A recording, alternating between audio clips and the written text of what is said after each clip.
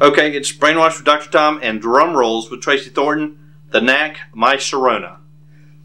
Well, My Sharona, of course, is known for its drum line. Mhm. Kunku paka dum pa dum pa dunku paka dunku paka dum got my Sharona. That was just it really showcased it let people it let a drummer, aspiring drummer like myself know that you could come up with even a simple beat and be a main part of a tune. Mhm. It wasn't all guitar players and their riffs that would make the songs. A drummer could actually do that, and uh, I actually played that song to try out to get into a um, a talent show when I was in fourth grade. Mhm. Got into talent show, and then the day before the big talent show, I wanted to change it because everybody liked the song. Mhm. I wanted to play a song that nobody really knew that I liked, so I played Gary Numan's Cars, Mhm.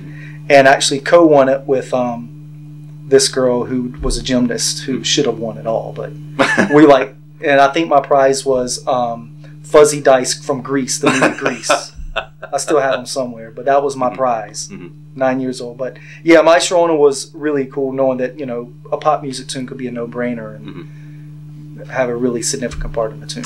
All right, would you be willing to talk about the role of the guitar- percussionist uh, drummer in a band? The role, um, Mhm. well, basically, w- when I teach bands or when I had um, the Sons of Steel, and when I teach kids now, Mhm. I always let the drummer know I don't care who you are. I, to me, the drummer is the most important person in the band. It's Yeah. not the lead singer. It's not the guitar player. Mhm. If the drummer's not playing right, then the drummer, the lead singer, the guitar player is not going to sound good. Yeah.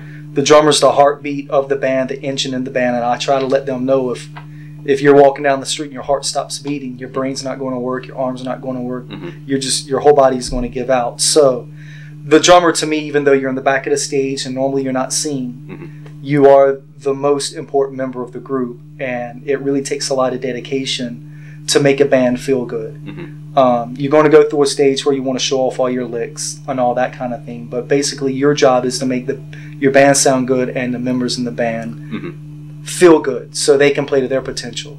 And uh, so I think that's what my role as a drummer, and that's really helped me out when I've explored other instruments since that aren't the backbeat of a band, Mhm. and to play with other drummers Mhm. and not being the drummer of a group, knowing how important that is. Because if you're not feeling good with another drummer back there, it's it's just useless, you Mhm. know. So um, to me, yeah, the drummer is.